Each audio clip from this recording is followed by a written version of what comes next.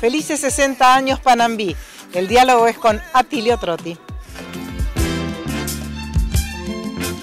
Bueno, realmente, realmente significa todo, todo un logro, todo un tiempo de generaciones de trabajo. Eh, realmente es un orgullo para mí poder estar al frente en este momento de, esta, este emprendimiento familiar que lleva tantos años. Eh, y realmente me siento, me siento muy contento eh, justamente por poder llegar a los 60 años en, este, en esta ciudad, en este país.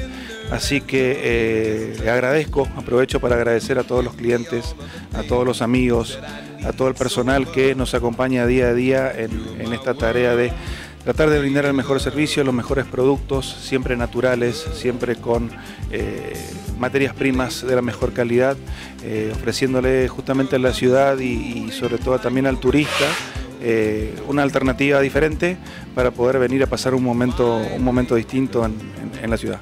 ¿En qué momento te incorporás vos a Panambí? ¿Cómo empieza tu historia?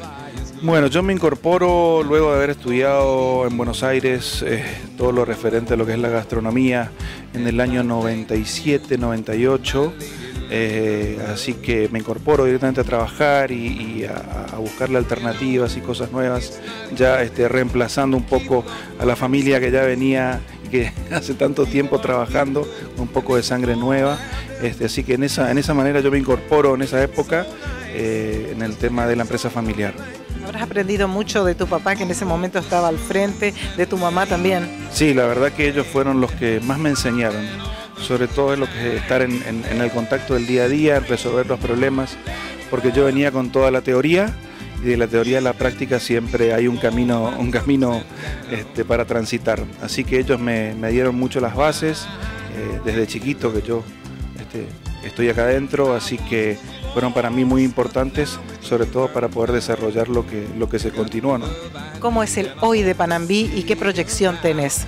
Bueno, hoy estamos en nueva casa, estrenándonos por calle Córdoba, abandonamos un poquitito la peatonal, yo creo que los cambios son buenos, esto nos permitió eh, desarrollar un local más moderno, eh, con otras presentaciones, otras propuestas. Y la idea es seguir avanzando, seguir avanzando con unas líneas que estamos tratando de desarrollar, todo lo que sea la pastelería, sobre todo orientada a la salud, por ejemplo, para eh, celíacos, eh, para diabéticos. Queremos desarrollar bien eso, está en estudio. No es fácil, es complejo encontrarlos, eh, sobre todo las materias primas para poder desarrollarlo, pero sé que lo vamos a hacer en un tiempo. ¿Son conscientes que son marca registrada, que son un clásico en cuanto a fiestas? ¿Quién que ha venido a alguna fiesta al Salón Encuentros de Panambino lleva el mejor recuerdo? Exactamente, eso es otro punto también que hemos hemos mejorado, se ha remodelado el salón, se ha pintado todo nuevo, eh, se han cambiado inclusive algunos, algunos elementos, así que de a poco estamos mejorando y brindando eh, siempre la mejor calidad en servicios y en gastronomía, que eso es muy importante. Feliz cumpleaños. Muchísimas gracias, gracias por venir.